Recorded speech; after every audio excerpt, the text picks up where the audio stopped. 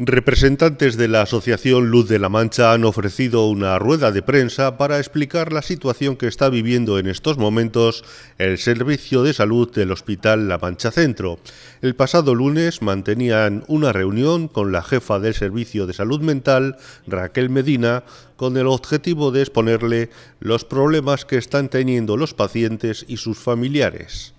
Uno era la baja por enfermedad de un psiquiatra que se produjo hace cinco meses eh, y ha estado casi cuatro meses sin sustitución. Los pacientes que tenía, que además daba la casualidad de que este psiquiatra era un, profesional que, tenía una cartera de, una cartera de, pacientes muy amplia, más amplia que los demás, pues resulta que estos, estos pacientes durante casi cuatro meses han estado, por decirlo así, abandonados a su suerte. El psicólogo de esta asociación explicaba la problemática que tienen las personas con enfermedad mental, sobre todo cuando están en situación de crisis. Eh, la persona con enfermedad mental es una persona que cuando está en una situación de crisis, pues eh, hay que atenderle inmediatamente. Es decir, no se puede dejar eh, ni esperar eh, un mes o dos meses o tres meses a atenderlo, porque es una cuestión de dosificación de medicamentos, es una cuestión de atención directa para eh, escucharle en, los contenidos de su crisis y eso no se puede, eso no, no tiene tiempo de espera. Claro, si el psiquiatra de, cabecera que tiene este paciente resulta que está de baja y no hay nadie que le pueda sustituir, pues lógicamente la situación se convierte en angustiosa. Em, al final le han, buscado un suplente, eh, pero resulta que el suplente pues es una persona que los pacientes que ya han tenido consulta con él salen insatisfechos. No les atiende, según ellos, no, les atiende con la corrección y con el estilo que se supone que debe tener un profesional de la psiquiatría. Según Julián Fernández de Quero, la jefa del Servicio de Salud Mental del Hospital La Mancha Centro les dio a entender que los pacientes requieren más tiempo con el psicólogo que con el psiquiatra. Cada uno debe desempeñar su labor y eso lo entienden. Lo que no entendemos es por qué entonces no hay como mínimo tantos psicólogos como psiquiatras en el equipo del Servicio de Salud Mental hay más psiquiatras que psicólogos. Entonces, claro, no entendemos si el psicólogo necesita más tiempo y tiene que atender a la misma gente, al mismo número de pacientes, que eh, haya más psiquiatras, que de todas maneras son pocos, ¿eh? es decir, que en conjunto el equipo de profesionales que atiende el servicio es mm, muy corto, muy escaso, están sobresaturados eh, esto, esto es una demanda que se viene haciendo tanto por parte de ellos como por parte de nuestra. Se viene haciendo desde hace ya años, no es de ahora, que el, equipo está escaso,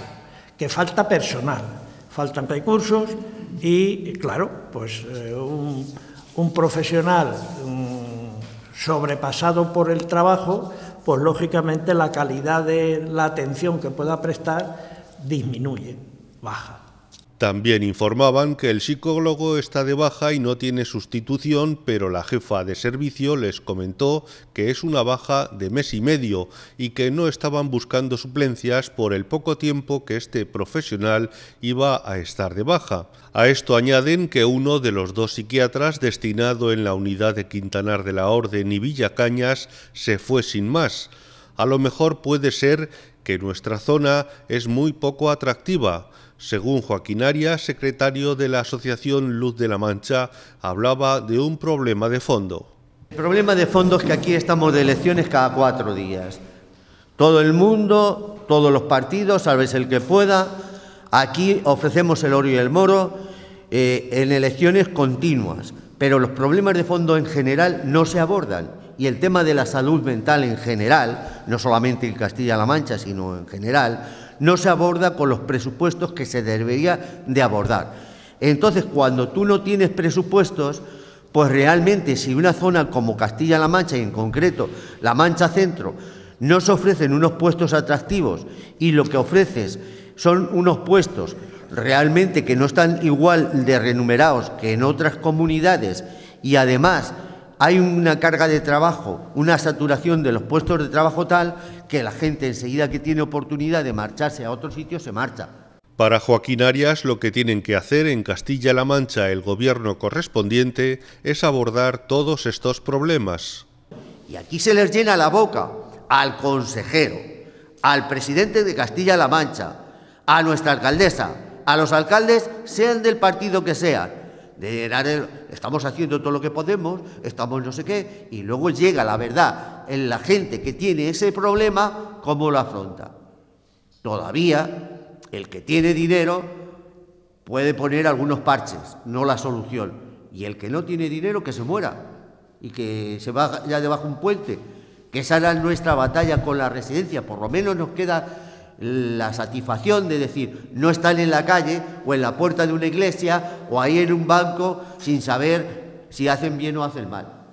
El presidente de la asociación, Leandro Ocon, recordaba que hace aproximadamente mes y medio enviaban una carta a Regina Leal y una carta abierta a los medios de comunicación. Le explicábamos que entendíamos que había una carencia de, de recursos humanos bastante importante, y, bueno, pues también, mm, eh, además, de, además de eso, yo mm, he participado en, varias jornadas de la Fundación Sociosanitaria y siempre nos ponen la miel en, los labios con esto de con, los recursos humanos y con el tratamiento asertivo comunitario. O sea, es, hay otras variantes que ponen en algunas de, de las zona de Castilla-La Mancha, que es un, le llaman recurso, o sea, atención domiciliaria, pero, pero bueno, ya empieza a aproximarse, pero no, no lo dotan de personal ni de presupuesto. Entonces, ¿de qué sirve que haya, demuestra un botón para decir que es muy bonito y que funciona muy bien, pero que, pero que, no, que no lo hacen extensivo para todos? Y que además, pues mm, redundaría en, que las, las asistencias a la UHB, a, los, brotes eh, psicóticos se reducen mucho con, con estas actuaciones domiciliarias y con y con las atenciones de, personal más directo a, los pacientes. La Asociación Luz de la Mancha demanda un presupuesto digno, la terminación de la residencia comunitaria y poner en marcha el plan asertivo que ya existe desde hace 20 años en Albacete con residencia de media estancia y que redundaría en una mejora sustancial para los pacientes de salud mental que piden soluciones para sus problemas actuales.